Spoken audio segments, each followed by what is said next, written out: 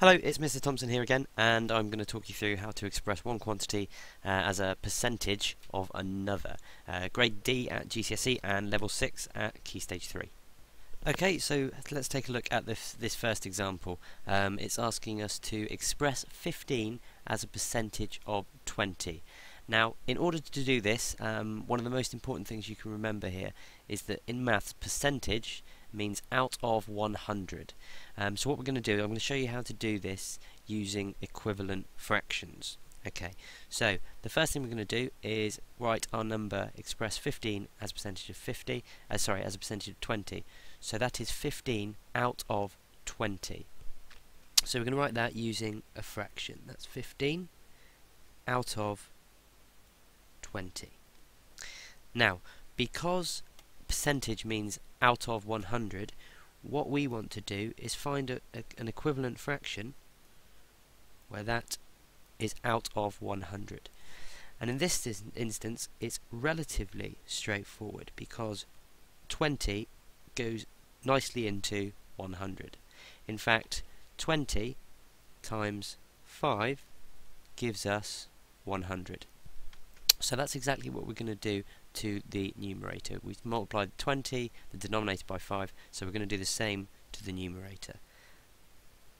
So when I multiply that by 5 as well, we come out with 75. Now, we're not quite finished here because we've worked out 75 out of 100.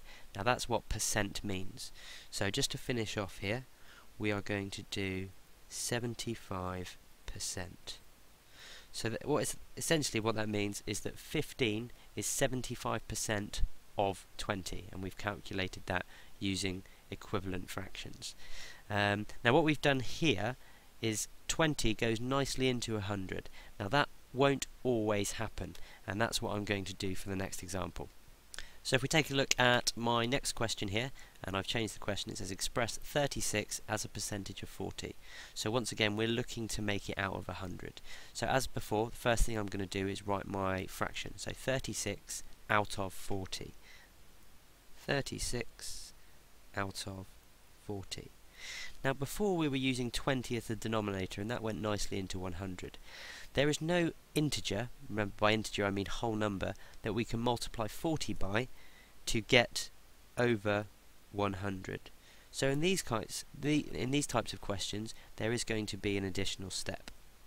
So what we're going to do is I'm going to try and get it as an equivalent fraction over 1. Okay, and to do that, we ask ourselves, how many ones are there in 40? Well, 40. So we have divided this by 40 to get to 1. Remember, like we did last time, whatever we do to the denominator, we also have to do to the numerator in order to keep it as an equivalent fraction. So I'm now going to do 36 divided by 40, and that gives me 0 0.9. You may need to use your calculator for that one. Okay, now we have it over 1, I can now find another equivalent fraction. It doesn't matter, again, whatever we do to the numerator, as long as we do to the denominator and vice versa, um, with it, only in regards to multiplying and dividing, of course. So, now I've got it over 1, but I want to have it over 100. So what I'm going to do is I'm going to multiply by 100 there are 100 ones in 100. So that's exactly what we're going to do to the numerator as well. So when we multiply this by 100, 0.9 by 100, I end up with 90.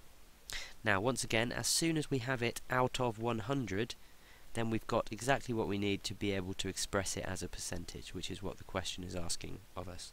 So 90 out of 100 simply becomes 90 percent which means that 36 is 90% of 40. Okay, so um, getting a little bit more difficult now. Uh, we're being asked to express 0.3 as a percentage of 0.5. Uh, now, once again, just as always, uh, we're going to write that as a fraction. So that's 0.3 over 0.5. Okay, now remember what we want to do is we want to get it out of 100. Now there is a nice whole number that we could multiply 0.5 by to get 100, but the decimals won't always be that nice. And this is what makes this question a little more difficult. So what we're going to do is we want to get it, always if in doubt, try and get it written over the fraction, find an equivalent fraction written over 1. Now what we're going to do now we want to find out what uh, we want to find out what we um, either divide or multiply 0.5 to get to 1. In this case, we can either we can see that there are zero there are two 0.5s in 1. So we could actually multiply by 2. However, the decimals won't always be this nice. Now, while this would work in um, in this example, what I would actually suggest you do is, if I rub this one out, is if you actually divide by the denominator. So I'm going to divide this by 0.5.